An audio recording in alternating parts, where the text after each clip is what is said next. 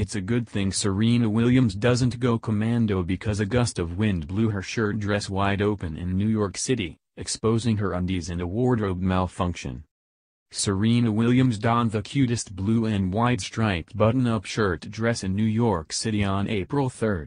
But she wanted to show a little more thigh than the design was made for, opting not to button the last two holes of the frock. Thanks to a windy spring day, that choice set her up for a wardrobe malfunction where a gust took the unbuttoned part of her skirt and blew it open as she exited a building, exposing her high-cut white underwear. Well, at least she didn't go commando and had panties on to protect her lady parts. The 37-year-old tennis superstar is her own best walking advertisement for her clothing line, as dress comes from her very own signature fashion brand.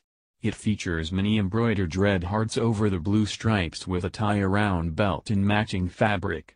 On her site the dress description says that it looks just as good over jeans as it does on its own, showing its versatility. The best part? It's affordable at $100. It's the second time in one day that Serena has showcased one of her own brand's dresses while in New York. She appeared on the third hour of the Today Show wearing a red bodycon dress that she modeled on her Instagram ahead of the program, showing in pics how it hugged her curves from the front and back. Red hot on the Today Show. My twist front dress by at Serena Twist Front Dress, she captioned the look and a link to her site where it could be purchased for $120. While on the show, Serena gushed about her husband, Reddit co-founder Alexis Ohanian, 35 and their 19-month-old daughter Olympia. It's just been so amazing to have him in my life and to have my daughter in my life as well.